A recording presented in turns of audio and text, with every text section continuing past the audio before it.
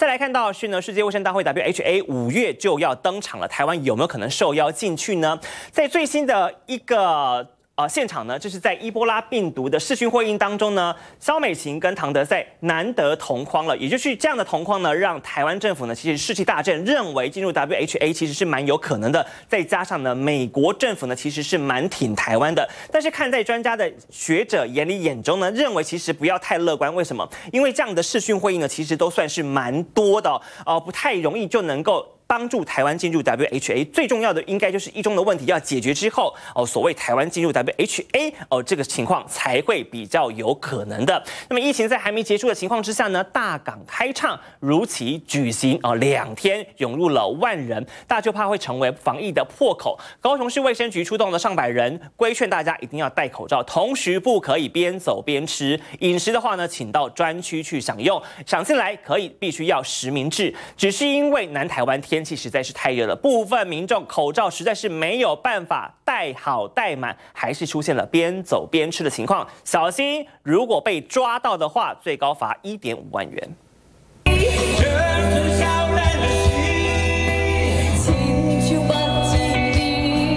今天台语老歌搭配摇滚乐伴奏，旧情不仅夜绵绵，还能很 rock。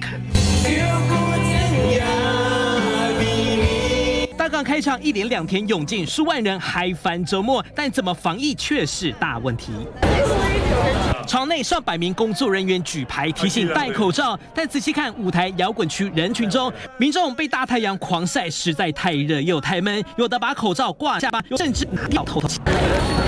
被太阳晒到口干，让民众抓起一猛罐边走边喝。还有一头纪念品专区，粉丝们排队两三个小时，也要抢到限量商品，但实在太饿，人群中拿出汉堡、面包狂嗑。但这些行为恐怕通通成为防疫破口。戴口罩蛮热的，对，而且天气天气太好了。对，全台全世界只剩台湾可以办音乐季了，所以大家还是好好配合，就戴着这样。根据中央流行疫情指挥中心规定，民众参加大港开唱，除了全程戴口罩、严禁边走边吃，要饮食必须前往专区，也要保持社交安全距离。进到室内场合要实名制登记，屡劝不听，最重罚一万五千元。大概有百分之九十八以上的民众都能够主动戴上口罩。稽查人员劝导后，参加大港开唱民众都乖乖戴上口罩，但卫生局还是要提醒，本土疫情缓解，参加大型活动防疫措施还。是得做好做满。记者蔡中训、王书红 S 小组高雄岛。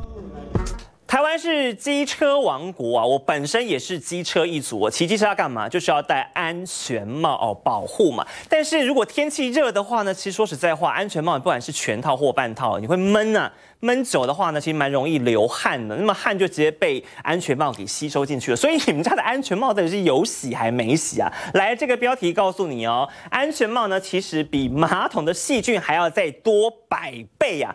到底安全帽哪里最脏呢？好啦，其实安全帽上面我们顶部这个地方啦，因为你会流汗嘛，啊，还有你的头发也会有会出油，或是我们头发会抹一些发品等等，所以都蛮容易脏的。所以网友呢怎么提供？网友说啊，其实最脏的还有下巴的那。一条带子哦，记得要洗一洗哦。每天洗头可能也是多少有一点帮助啦。但是最好的是呢，现在安全帽内衬哦都可以拿来去洗，记得洗一洗晒晒太阳是比较好的哦。不要一直戴，然后都不洗都不换，这样子嗯，汤。